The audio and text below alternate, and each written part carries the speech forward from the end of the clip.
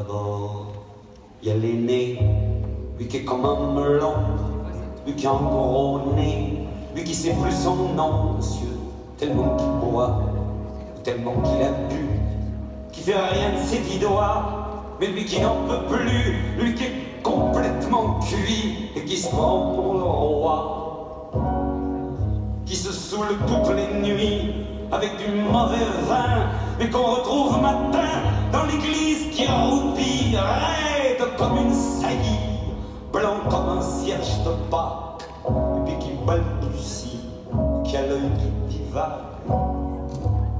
Faut vous dire, monsieur, que chez ces gens-là, on ne pense pas, monsieur. On ne pense pas. On prie.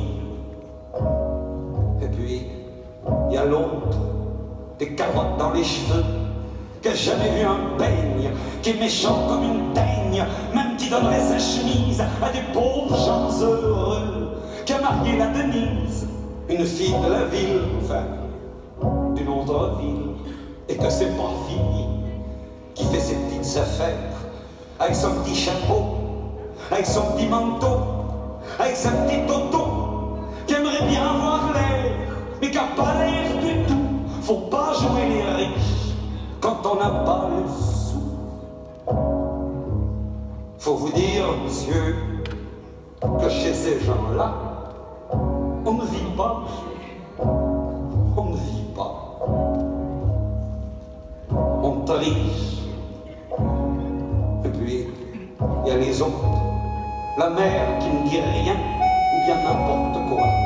Et du soir au matin, sous sa belle gueule d'apôtre, et dans son cadre en bois, il y a la moustache du père qui est mort d'une glissade, et qui regarde son troupeau bouffer la soupe froide. Et ça fait des grands...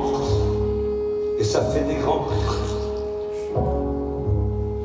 Et puis il y a la toute vieille, qui en finit pas de vibrer, et qu'on attend qu'elle crève, vu que c'est elle qui a l'oseille, et qu'on n'écoute même pas ce que ces pauvres mains racontent.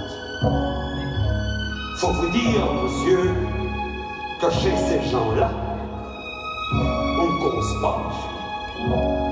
On ne cause pas.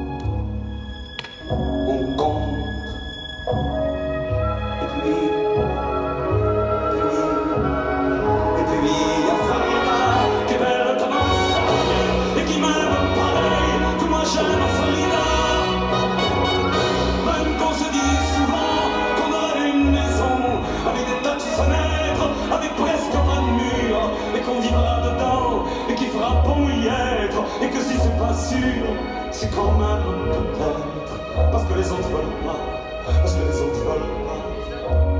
Les autres, ils disent comme ça qu'elle est trop belle pour moi, que je suis tout juste bon à égorger les chats.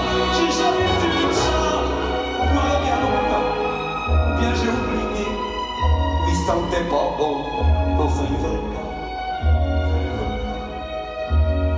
Parfois, quand on se voit, semblant que c'est pas exprès, avec ses yeux mouillants, elle dit qu'elle partira, elle dit qu'elle me suivra. Alors pour un instant, pour un instant seulement, alors moi je la crois, monsieur, pour un instant, pour un instant seulement, parce que chez ces gens-là, monsieur,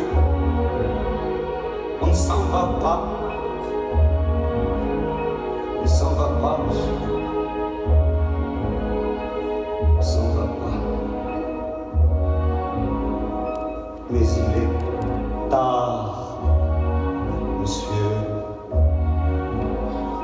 Il faut que je rentre chez moi.